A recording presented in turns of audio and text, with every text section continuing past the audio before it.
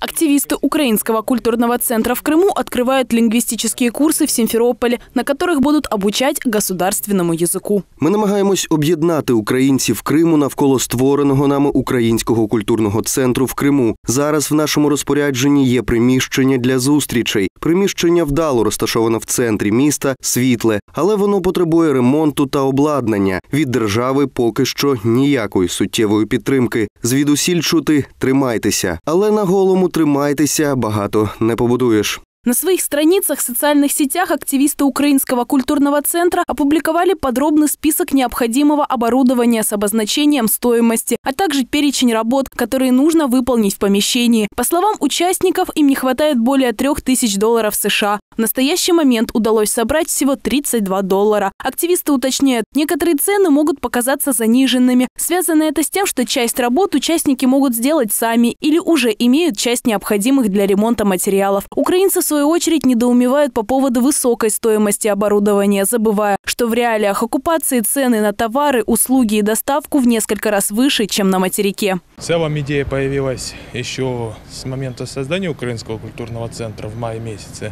То есть и только сейчас мы смогли найти помещение и а, в данный момент там проходит ремонт, потому что помещение не совсем пригодно для проведения там образовательных курсов. А, Мы собираем деньги для этого, для этого опубликованы у нас э, в Фейсбуке счета наши, на которые можно перечислить. В Украинском культурном центре поясняют, список предложений не окончательный. Участники инициативы готовы к любым конструктивным предложениям. С радостью примут любую помощь по обустройству помещения. Помещение было найти очень трудно, в первую очередь, потому что мы полностью находимся на собственном обеспечении, то есть м, и поэтому спасибо людям, которые предоставили нам безвозмездно это помещение. После завершения ремонта, конечно, это будет э, публичное место, когда любой желающий может прийти и для получения знаний, и для встречи, для проведения своего времени. В дальнейшем, если найдутся люди, готовые помочь восстановить островок украинской культуры на полуострове, в планах открыть курсы по изучению истории, культуры и даже создать дом кино, где будут показывать фильмы на государственном языке. К повышенному вниманию российских правоохранителей к деятельности центра активисты в Крыму уже привыкли. Более того, готовы давать бесплатные уроки украинского языка даже сотрудникам российских правоохранительных органов.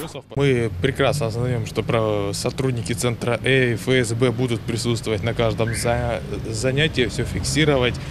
Конечно, без них никуда. Надеемся, что люди, которые командированы отсюда с Москвы или с Питера, тоже будут получать знания в украинском языке. В следующий раз, придя на наше задание, они не будут задавать глупых вопросов. Пожалуйста, не говорите на украинском языке.